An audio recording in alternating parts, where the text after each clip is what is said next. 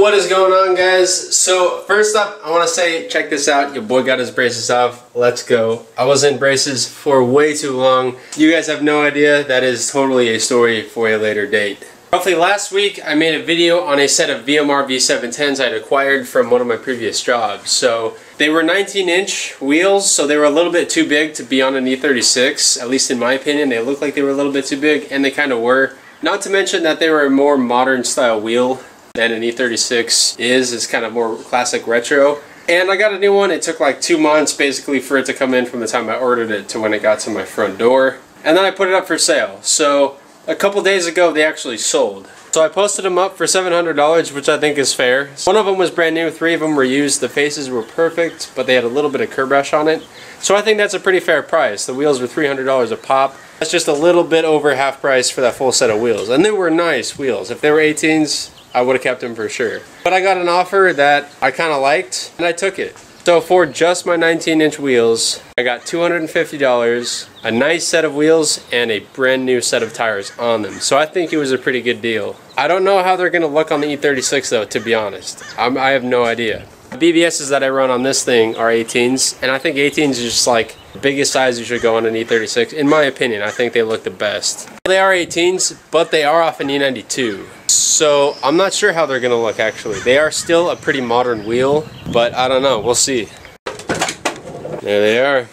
I believe these are style 189s is what they're called. So these are the five spoke. I think they come on the 335 and they're actually pretty good looking wheels. So my predictions now is that they're either going to look really good or really bad. They have a brand new set of Hankooks with very little miles on them and they are the Ventus S1 Noble 2s which are they're pretty good tires. They're a lot better than the tires I have on my Contours right now.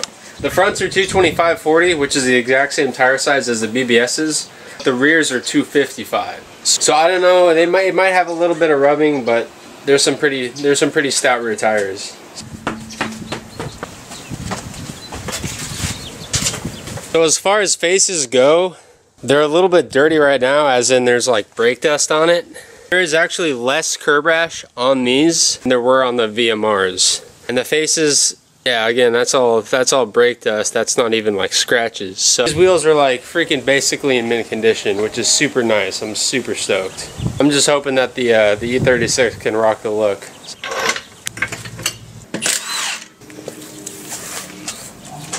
I have no idea what offset these wheels are, so this might might look really weird or it might rub really hard.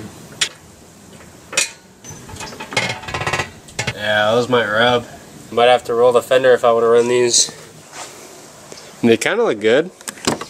Let me drop the parking brake. That's actually not too bad. That's not too bad at all. I kind of like that actually. Let me get the other front one on and we'll see how the whole car looks with it. So I'm going to leave the front spacer on for this. Damn, that is close as fuck with those spacers on.